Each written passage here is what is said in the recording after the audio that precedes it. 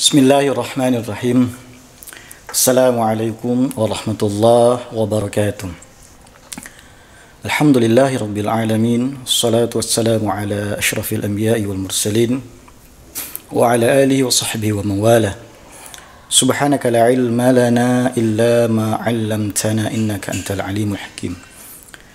Ma'asyiral muslimin, para pemirsa Nurul TV yang dirahmati Allah. Alhamdulillah bersyukur kita kepada Allah Subhanahu wa taala atas segala nikmat yang Allah berikan kepada kita. Salawat dan salam semoga senantiasa tercurahkan kepada junjungan kita Nabi Allah Muhammad sallallahu alaihi wasallam dengan lafaz Allahumma salli ala Muhammad wa ala ali Muhammad. Ma'asyiral muslimin, para pemirsa Nur TV yang dirahmati Allah Subhanahu wa taala. Pada kesempatan kali ini kita akan sedikit uh, membahas atau mengupas tentang keutamaan salat sunnah duha. Salat sunnah duha adalah salat sunnah yang mungkin sebagian kita masih banyak yang meninggalkannya, bahkan mungkin jarang untuk melakukannya. Kenapa demikian? Karena salat sunnah duha ini di mana waktunya bertepatan dengan di mana kita disibukkan dengan urusan duniawi. Kita disibukkan dengan pekerjaan kita, disibukkan dengan urusan-urusan di mana kita mencari nafkah. Oleh karena itu pada kesempatan kali ini sedikit saya menyampaikan terkait keutamaan-keutamaan uh, salat sunnah duha ini. Salat sunnah duha adalah salat sunnah yang dikerjakan seorang muslim di waktu duha. Adapun waktunya sejak matahari naik atau terbit seukuran uh, satu tombak atau dikira-kirakan sekitar 20 menit setelah matahari terbit sampai Eh, menjelang waktu zuhur. Itulah waktu salat sunnah duha untuk dikerjakan. Akan tetapi di waktu itu ada beberapa waktu atau ada waktu yang mana lebih afdal untuk dikerjakan. Sebagaimana dalam sebuah riwayat dijelaskan, salatul awabina hina tamradul fisal. Salatnya orang-orang yang kembali taat kepada Allah Subhanahu wa taala dalam artian di sini adalah salat duha adalah ketika matahari benar-benar panas atau ketika anak unta tidak sanggup lagi meletakkan badannya atau tubuhnya di padang pasir. Berarti waktu itu adalah sangat panas. Maka di sinilah waktu yang sangat uh, utama untuk mengerjakan salat sunnah duha di sini. Kemudian, ma'asyiral muslimin, para pemirsa Nurul TV yang dirahmati Allah Subhanahu wa taala, ada beberapa Eh, keutamaan-keutamaan salat sunnah duha di sini. Yang pertama adalah salat sunnah duha adalah uh, sebagai bentuk uh, sedekah dari persendian tubuh kita. Dalam sebuah di hadis dijelaskan yusbihu ala kulli sulami yusbihu ala kulli sulami min ahadikum sadaqah fa kullu tasbihatin sadaqah wa kullu tahmidatin sadaqah. Wa kullu tahlilatin sadaqah.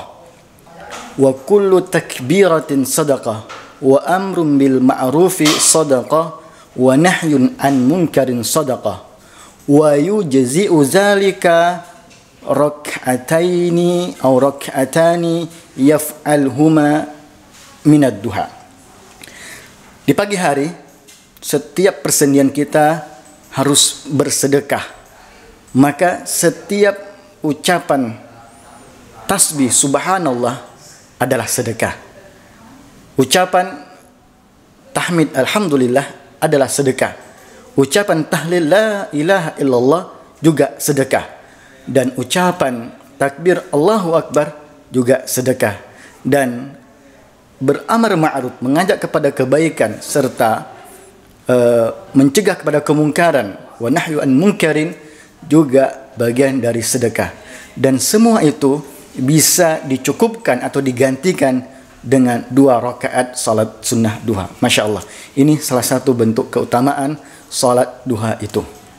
Kemudian uh, ada juga keutamaan di mana uh, orang yang melaksanakan salat duha ini akan mendapatkan keuntungan dan uh, keberuntungan yang sangat luar biasa.